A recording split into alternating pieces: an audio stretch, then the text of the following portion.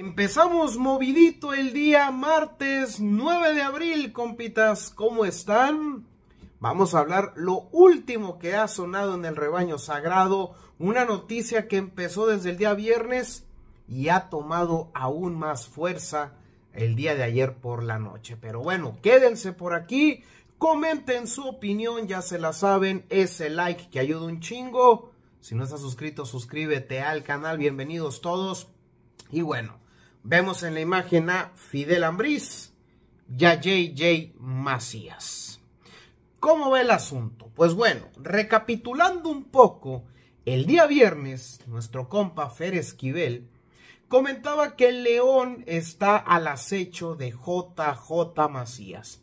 Por una hipotética salida de Federico Viñas al viejo continente, León tiene en su plan A para llegar a la fiera a fortalecer el ataque a un ex, uno que ya le fue muy bien por aquellos lados en el Bajío, como lo fue José Juan Macías. Hasta ahí había quedado el asunto. Pero el día de ayer en la noche, compas, empezó el, el rumor más fuerte, ya que David Medrano Félix comenta que el conjunto de las Chivas quiere al jugador mediocampista de la Fiera que se está recuperando, hay que decirlo, de una lesión. Pues bueno, detallando para más menos el asunto, como les decía, la información de Esquivel es que la Fiera quiere sí o sí a JJ Macías.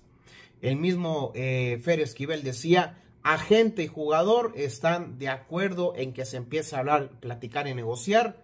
Pero David Medrano abrocha esa información con que el Guadalajara dice, ok, abrimos negociaciones, vemos qué onda, pero en la transacción que entre el mediocampista Fidel Ambriz.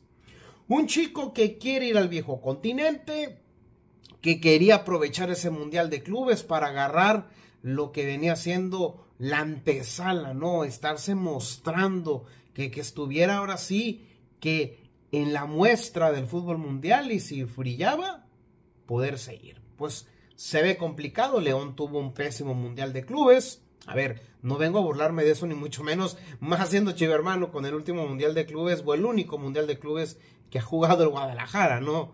Pero omitiendo ese tema, platicando un poco, compas, y poniendo en perspectiva los dos jugadores, cómo está el asunto. JJ Macías en septiembre cumple 25 años, ¿sí? Aquella promesa sub-23 y que llevaba goles y que era el máximo anotador y demás, está quedando en el olvido ya.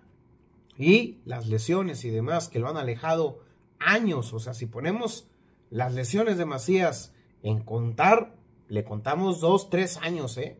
de, de lesiones, lamentablemente para su causa. Pero bueno, el 22 de septiembre de este año 2024, JJ cumple 25 ya, compitas, ¿no?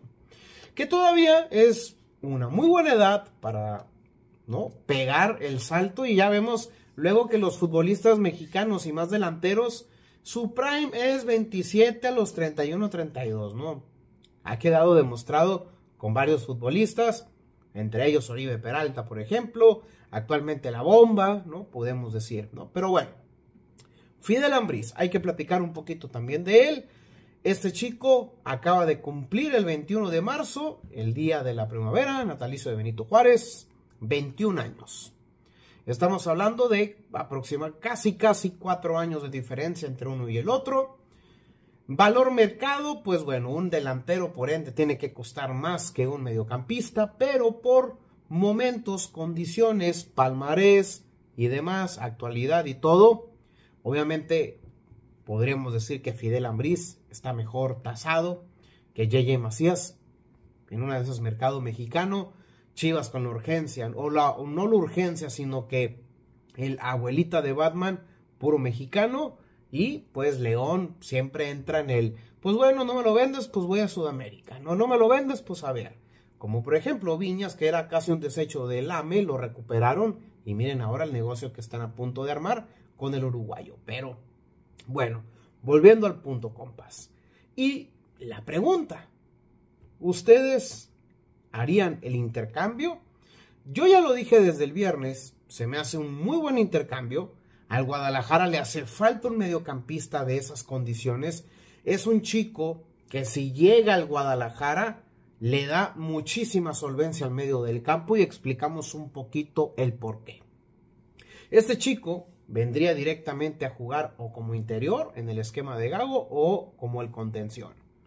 Podemos partir de que se juegue Fidel Ambriz, Nene Beltrán, Eric Gutiérrez Galaviz, de que se juegue Guti, Fidel con Nene, se puede jugar Oso, Nene Fidel, Oso, Guti Fidel, Fidel, Oso, Pocho Guzmán, y ahí podemos armar muchísimos medios del campo, ¿no? Los dos contenciones y ahora sí soltar a un tipo como el Pocho y puedes liberar ahora sí un jugador que juegue más suelto y en una posición un poco más clara, ¿no? Como Pachuca con Eric Sánchez, Luis Chávez, pues hablamos de Guti, Fidel Ambriz y ya el Pocho juega mejor arriba, entonces ayuda, compas, ¿no? Ayuda muchísimo un fichaje como el de Guti.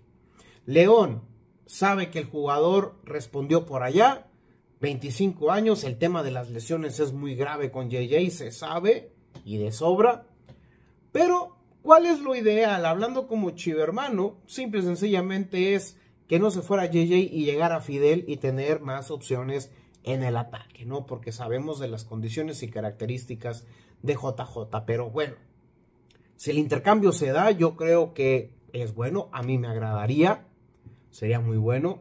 O sea, no es, no es tan fácil como, ok, te va para allá y el otro para acá. León tiene muy blindado a Fidel Ambriz, el chico quiere Europa, se tendría que hablar, platicar muy fuerte con él y decirle, hoy este vienes y después te buscamos salida, porque igual el chico aplica un gulit, ¿no? Y llora al salir de León. O sea, son muchos eh, ingredientes, ¿no? Los que todavía eh, hay que meterle a este mercado de rumores que cada vez más prematuro, no más precoz.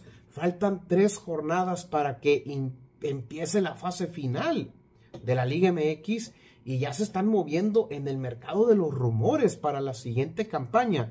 Una campaña que viene con dos torneos, ¿no? Para los equipos de Liga MX, obviamente la Liga y agregar la League's Cup, ese prácticamente mes, ¿no? Como un mundial en el que para la liga para ir a jugar la League's Cup a los Estados Unidos y después volver y competir. Así que la pregunta está hecha, compas. ¿Ustedes qué opinan? Buen intercambio, ganan los dos, que no lo hagan. ¿Ustedes qué opinan? Yo, la verdad, como chivermano digo, venga adelante. O sea, Fidel Ambriz es un jugador que me encantaría en el Guadalajara por toda la versatilidad que te puede dar en el medio del campo. Pero ustedes, ¿Qué, lo ¿Qué dirían? No. Y ojo, que ya saben que soy masista, pero ni modo. Es más, si le va a ir bien y va a levantar la carrera por allá, pues está bien adelante, ¿no?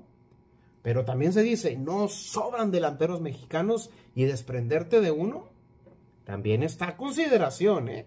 Como les digo, lo ideal sería que se quedara Yeye y traita Fidel. Pero bueno, sabemos que la realidad es otra y más con el Guadalajara. Ahí estamos, bonito martes, compas. Nos vemos al rato con otro video, por supuesto. Que estén muy bien, ánimo.